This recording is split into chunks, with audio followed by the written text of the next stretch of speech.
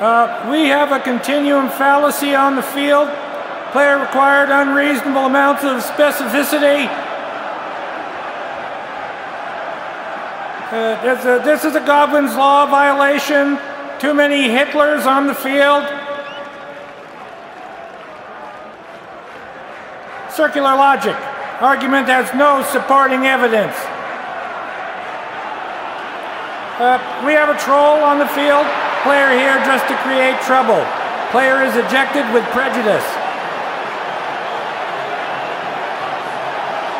We have an attempted argument from silence. Player based their conclusion on a lack of evidence. Uh, there is a historical fallacy on the play. Offense believed historical figures shared the same perspective on the, on the topic. Uh, we have an illegal goalpost move. Defense demanded more proof after the offense successfully proved their point. Uh, there is an unlawful call for moderation on the play. Assume the correct answer was always the middle ground. Hasty generalization. Not enough numbers on the field to represent the whole. Attempted proof by intimidation. Player failed to understand difference between refuting a point and just shouting it down.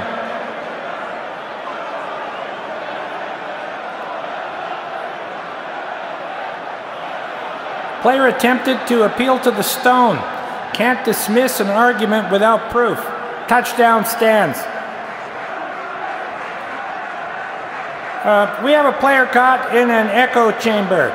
Refuses to accept any facts contradicting their own bias. False causality on the offense. Coincidence illegally substituted for proof. We have an ad hominem attack. Personal foul, attack the opponent instead of his argument. Uh, we have a non sequitur on the field, attempting to link two points that have nothing to do with each other. Uh, uh, there is a red herring on the field. Uh, what the hell does this have to do with anything?